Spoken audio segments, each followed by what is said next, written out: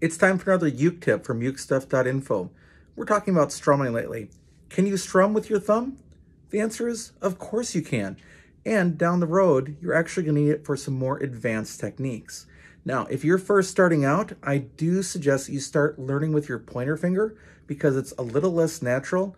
And if you start with your thumb, it's gonna be harder to move to other things. But the thumb gives kind of a neat sound. It's a heavier sound, it can be more controlled because your thumb naturally has more control than your first finger.